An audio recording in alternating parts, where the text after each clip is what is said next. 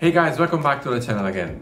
Many of you ask me the differences between the GPT label, the DOS disk label, MBR system and UEFI system and how to install Arch Linux following those schemes. So let's have a look at it.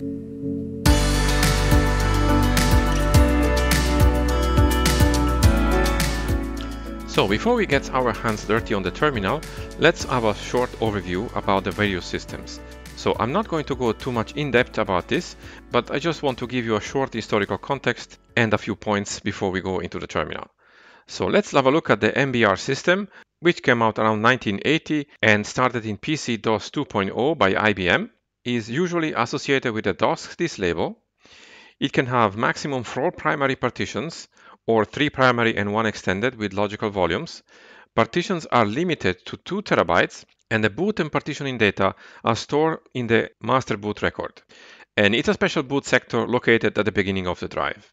Now, the UEFI system was developed in the late 90s by Intel as a new format partition table, part of what is today the Unified Extensible Firmware Interface, or UEFI. As of 2010, the GUID partition table, or GPT, forms a subset of the UEFI specification.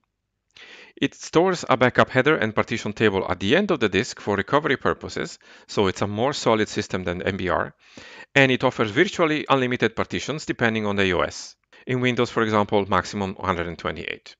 So when we want to install Arch Linux on a UEFI system, we need to use the GPT disk label. And it's recommended to do this as some UEFI implementations do not support booting to the MBR while in the UEFI mode. So when we want to install Arch Linux on a UEFI system with the GPT disk label, two partitions are mandatory. We need to have a EFI partition and also a root partition. A swap partition is optional. You can always create a swap file if you want during the installation, and the home partition is also optional. Now, dual booting with Windows, the EFI partition is already present because it was created by the Windows installation, but of course the root partition is still mandatory. Now, if you want to install Arch Linux on an MBR system with a DOS disk label, the swap partition is recommended, especially if you have lower RAM. A root partition is of course mandatory and the home partition is optional. We can also install Arch Linux on an MBR system with the GPT disk label, although it's not guaranteed that it can work. If you are installing, for example, on old hardware, you might better go with the MBR DOS disk label system, as the BIOS in those computers might not support GPT, there is an eventual small fix for this, which is documented in the Arch Wiki. I will not put it here in the tutorial because I couldn't test it out myself, but I'll put a link in the video description so that you can have a look at it. So if you want to install Arch Linux on an MBR system with the GPT disk label, if supported, and you want to install grub as a bootloader, a bootable boot partition is mandatory. A root partition is of course also mandatory, a home partition is optional, and a swap partition is recommended if you have low RAM. And finally, let's look at some recommendations from the Arch Wiki, which are extremely important.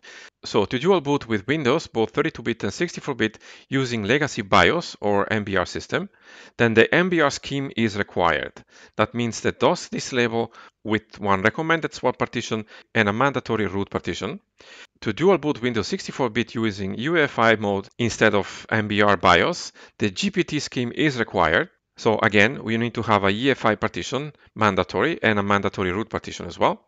If you are installing on older hardware, as I said before, especially on all laptops, consider using MBR because its BIOS might not support GPT. And as I said before, there is a fix for this which is documented in the ArchWiki, and I'll put a link to it in the video description. If you are partitioning a disk of 2 terabytes or larger, you have to use GPT as MBR is limited to 2 terabytes. And lastly, it is always recommended to use GPT for UEFI boot, as some UEFI implementation do not support booting to the MBR while in UEFI mode. So let's have a look at the terminals and see practically how these are done. So here I am on a virtual machine and I set up this machine to be a MBR system. And one way you can see this, it's also how this Arch Linux prompt comes up on the display. Note that is not the one saying UEFI, so you can be pretty sure this is a MBR system. So let's put up the system now and I hit enter here. And let me go full screen. So some people ask me how to connect to SSH while I'm doing the tutorials. So I'm going to show you this here right now because I want to connect to a bigger terminal where I can have bigger fonts and use my mouse to point out things. So the first thing what I do normally is type in pacman s yyyy to synchronize once the servers.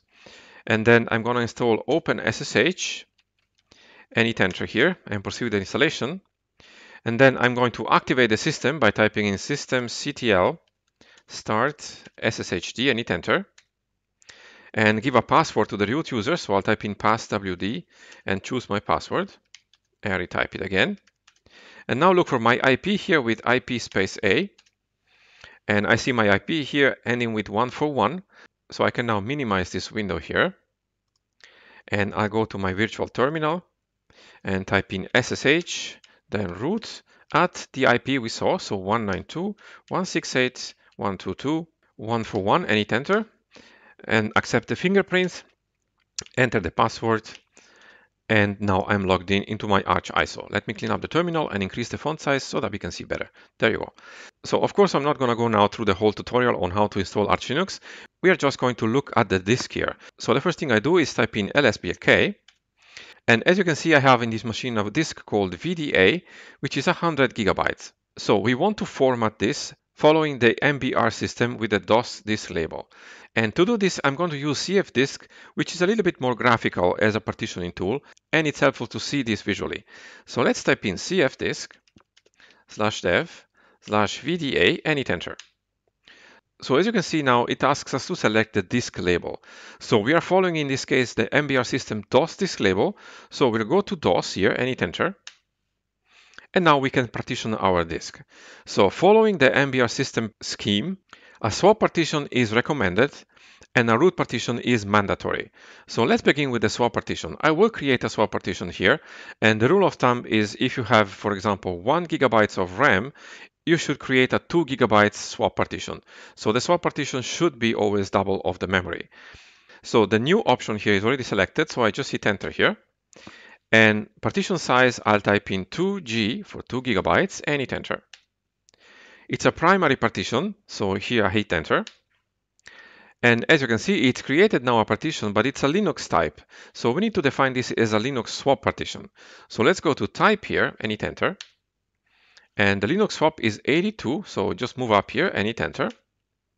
And now we created the Linux swap partition. Again, we are only partitioning here, we are not formatting the partitions. Then we move down to the free space and we create our root partition. So we just hit enter here and we can accept the default of 98 gigabytes by hitting enter. And yes, it's a primary partition, so we hit enter here. And the partition is created. Now we need to write the changes to the disk, so we'll go to write and hit enter. Confirm by typing in yes and hit enter. And the partition table has been altered, and now we can exit the program by going to quit and hit enter. Now let's clean up the terminal and have a look again at lsblk. And we can see here we have VDA1, which is going to be our swap partition of 2 gigabytes, and VDA2, which is going to be our root partition.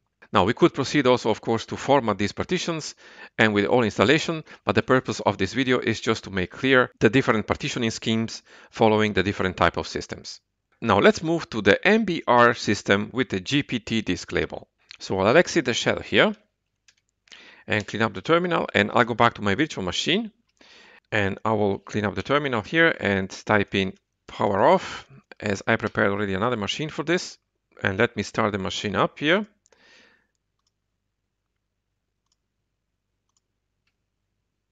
And again, we have the same boot menu, so we can be pretty sure we are on an MBR system.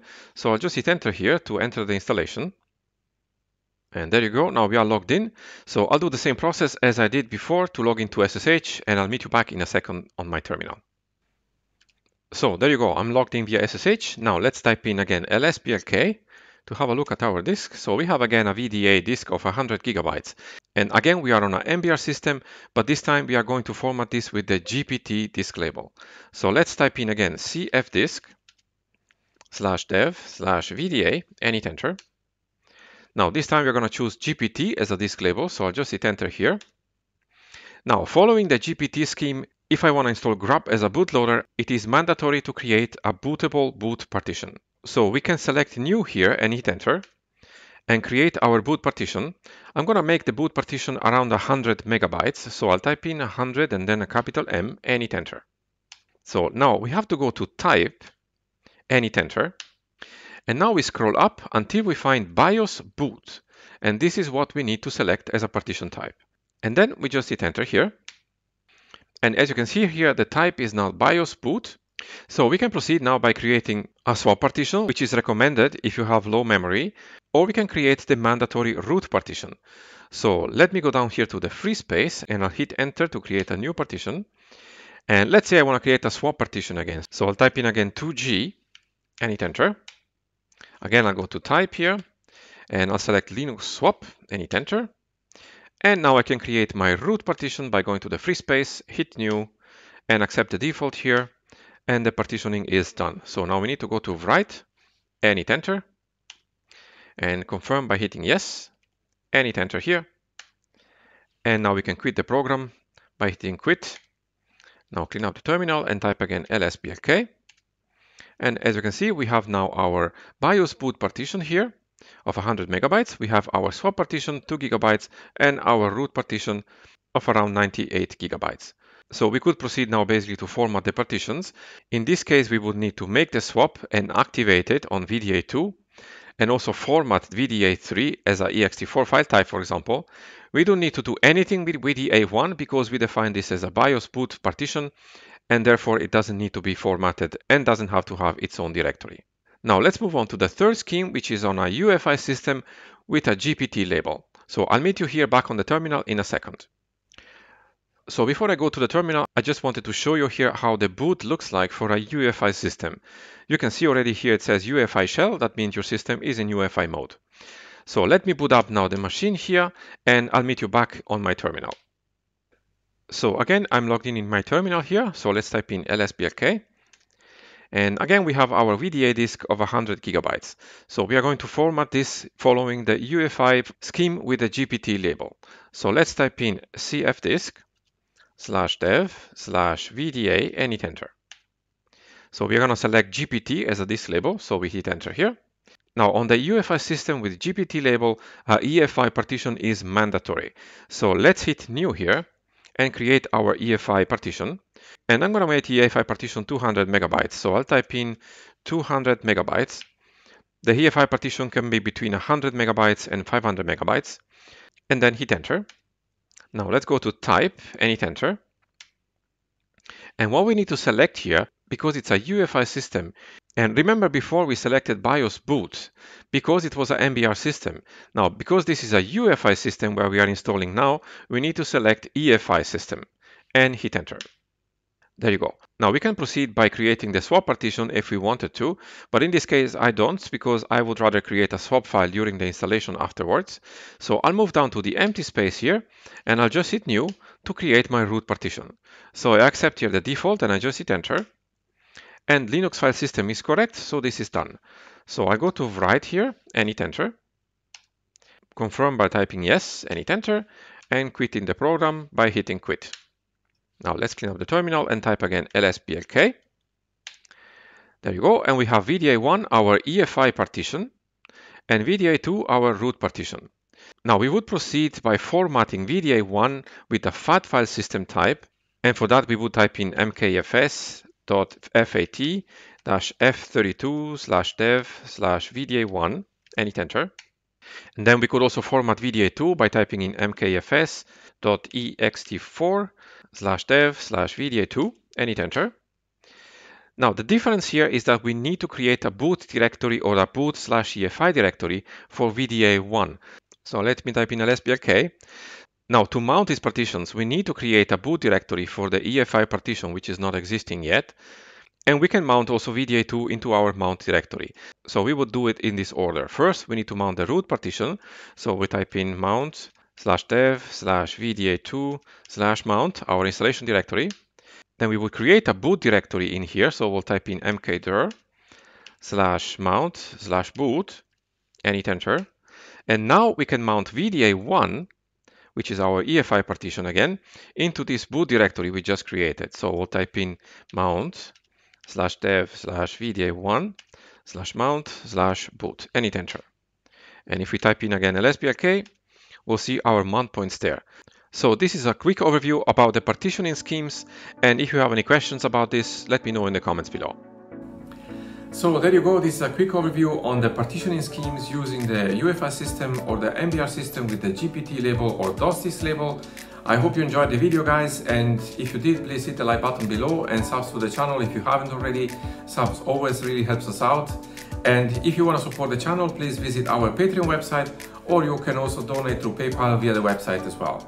If you have any question about the video please let me know in the comments below and thank you so much for watching and I'll see you in the next one.